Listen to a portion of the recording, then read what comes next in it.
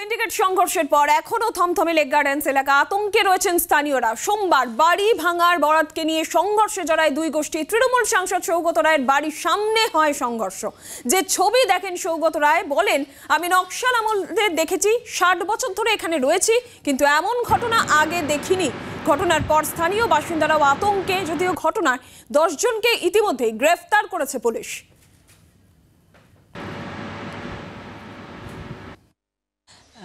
প্রশাসনের কাছ থেকে তো আমরা একটা সুরাহা চাই।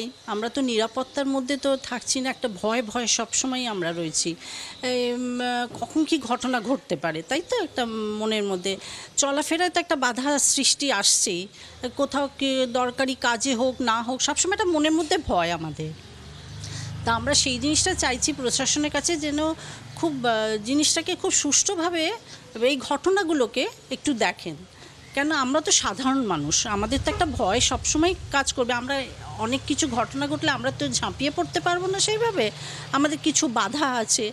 সেই জন্যে অন্য প্রশাসনের কাছে আমরা সেইটা চাইছি যে মানে একটু ভালোভাবে যেন বিচার করে জিনিসটাকে দেখেন। না, আমরা মোটামুটি আশ্বস্ত। আশা করা যায়, আশা করা যায় পুলিশ দায়িত্ব নেবে। নিশ্চয়ই দায়িত্ব নেবে। তারপর থেকে তার গণ্ডগোল হয়নি সেদিনকার পর থেকে। আর কোনো অসুবিধা হয়নি আর কি আমাদের পাড়ায়। দেখুন সিন্ডিকেটের লোকজন কিন্তু অনেকভাবেই তারা বিরক্ত করে। ধরুন, আমি বাড়িতে একটা কাজ করাবো, আমি বুঝেছি, আমি জানি না কারা করেছে এখানে। আমার বাড়িতে, আমার এখানে একটা ফ্ল্যাট আছে, সেখানে আমি কত বছর আমার মনে হয় এরাই যুক্ত। আমি তাদের দিয়েই মনে হয় কাজ করেছিলাম। তাদেরকে দেবে কাজ করানো আমার পাগল করে দিয়েছে আমাকে একদম। মানে এরা শুধু মানে একটার পর একটা কাজ বার করে কীভাবে পয়সাটা আদায় করবে? এইটুকু আমি তখন বুঝি আমার মনে হচ্ছে একজন হয়তো তার মধ্যে থাকতেও পারে। অবশ্যই, আমরা তো এরকমভাবে থাকতে পারব না না? আর এই পারে একেবারেই এরকম ছিল না। কোনো ডিস্টারবেন্স ছিল না। এবারে যেটা হলো, দেখলাম।